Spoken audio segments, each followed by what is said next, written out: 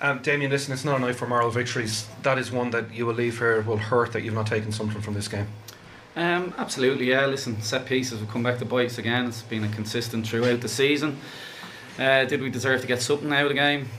Absolutely. And when it's so close to the end of the game, you're up. Um, yeah, it's definitely two points lost, which again a moral victory. Uh, it's another hard luck story. That's what I'm telling the guys in there. I'm sick of them, and they have to stop. But listen again, I couldn't be prouder of them. How do you bridge that gap between what could have been and what should have been?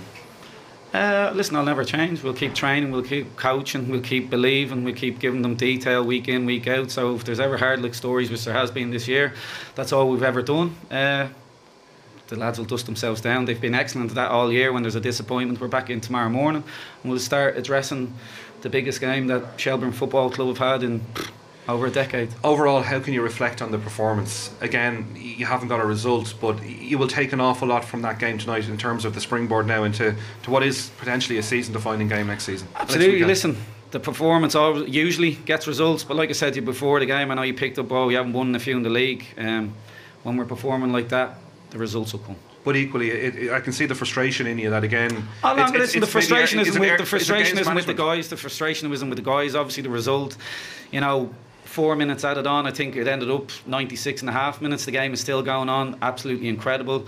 I don't think it's a corner. I think it's a free kick the back, back post. But listen, if I was to air my views about officials and blah blah and stuff that goes on in this league, I won't be on the touchline next week. So I am very proud to manage Shelbourne Football Club and I want to be on the touchline next week. I cannot wait. I'm looking forward to it already. That's why. That says a lot. Can I just ask you about, you know, you had a reputation for being calm, collected, laid back as a player. You were as entertaining to watch in patches tonight as the game itself. That's testament to not necessarily what this means to you, but the potential, obviously, that you see still within this group. Yeah, well, listen, it's. Uh, I'd like to say it's not losing my head during the game, which maybe you could have pointed no, out earlier, earlier on this season. No, it's just co- it's coaching within the game. Uh, it's what it's true to who I am, and uh, yeah, listen.